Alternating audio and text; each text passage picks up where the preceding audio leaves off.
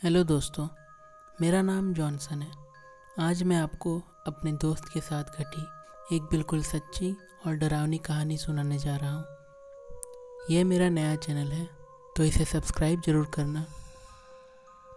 तो बिना किसी देरी के कहानी शुरू करते हैं। मेरा नाम मयूर है और मैं बिंदी पाउडर मेकअप वगैरह का होलसेल व्यापार करता हूँ। मेरी दुकान राजकोट में है। वैसे तो मैं भूत प्रेत और अन्य पैरलौकिक शक्तियों में मानता नहीं हूँ। पर एक दिन मेरे खुद के रियल अनुभव ने मुझे डरा कर रख दिया। उस दिन मैं दुकान पर बैठा था। कामकाज कुछ था नहीं। सुबह से एक भी ग्राहक नहीं आया था। तो दिमाग पूरी तरह से हटा हुआ था।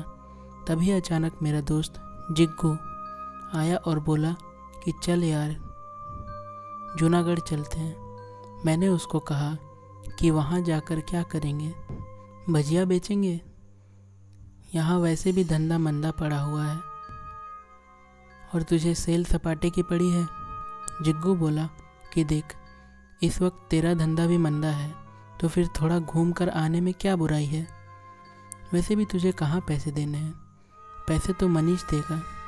हम दोनों उसी के पैसों पर तो बचपन से घूमते आ रहे हैं। थोड़ी देर सोचकर मैं तैयार हो गया। हम तीनों दोस्त जूनागढ़ के लिए रवाना हो गए। पता नहीं उस टाइम क्या त्यौहार था, पर जूनागढ़ में काफ़ी भीड़ थी। हर तरफ़ नंगे साधु घूम रहे थे। काले, गोरे, नाटे, मोटे सब साइज़ के नंगे साधु वहीं घूम रहे थे। हम तीन दोस्त उन्हें देखकर एक दूजे के सामने हँसी मज़ाक उड़ा रहे थे। तभी मनीष बोला, चलो गिरनार पर्वत पर चढ़ते हैं। हम तीनों फ़ौरन वहाँ पहुँचे और पर्वत के ऊपर चढ़ने लगे। वहाँ भी नंगा साधु की भरमार पड़ी थी। जिग्गू बोला कि, देख मयूर, अगर तेरा धंधा यूँ ही मंदा चलता रहा तो तू भी इन नंगे साधुओं की तरह सेट हो जाना। हर साल हम तुझको मिलने आएँगे। मुझे हँसी तो आई, पर जिग्गू पर गुस्सा भी आया। मैं उसे पकड़कर पीटने के लिए उसके पीछे भागा। दौड़ लगाते हुए थोड़ी ही दूर जाकर जिग्गू सोते हुए एक नंगा बाबा साधु के ऊपर गिर पड़ा।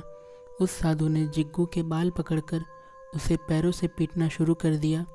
मैं जल्दी से जिग्गू को छुड़वाने लगा तो उस साधु ने मुझे पकड़ लिया और मेरे बाल नोचने लगा। उतनी ही देर में वहाँ मनीष भी आ पहुँचा। फिर हम तीनों ने मिलकर उस साधु को धोया। हमारा झगड़ा देखकर वहाँ कई लोग जमा हो गए। उस नंगा साधु ने और दो साधु को बुला लिया। अब हमें डर लग रहा था, क्योंकि गिरनार पर भी नंगा साधु बहुत सारे थे। हम तीनों चुपचाप पर्वत के ऊपर की ओर जाने लगे। हमने मुड़कर देखा तो वह तीन नंगा साधु हमारे पीछे आ रहे थे। अब हम तीनों की फटी पड़ी थी। दिल भी जोरों से धड़क रहे थे। तीन लंगोटधारी पहाड़ी साधु हमारे पीछे इस तरह से आ रहे थे, जैसे अभी पकड़कर हमें नोच ही देंगे। हम पहाड़ों के ऊपर तक जा पहुँचे और रुक गए। वहाँ तीनों हमारे पास आए और उन्होंने सीधा जिग्गू को पकड़ा। मैं और मनीष जिग्गू को उनसे छुड़ाने लगे तो वह हमें ही घूसों और लातों से पीटने लगे। हम ज़मीन पर पड़े थे, तभी वह तीनों जिग्गू को हमसे दूर ले गए। थोड़ी देर बाद हम खड़े होकर अपने दोस्त को ढूँढने लगे। हमें जिग्गू पास ही सीढ़ियों पर बेहोश मिला। उसके चेहरे पर पानी मारने से वह जाग तो गया, पर वह हमसे बात नहीं कर रहा था। शायद सदमे में था। उसे संभल कर वहाँ से घर ले गए। फिर हमें जिग्गू ने बताया कि उन तीनों नंगे साधुओं ने उसे किस अंधेरे कोने में बिठाकर तांत्रिक मंत्रोच्चार किए और भभूत मिला, पानी ज़बरदस्ती पिलाया।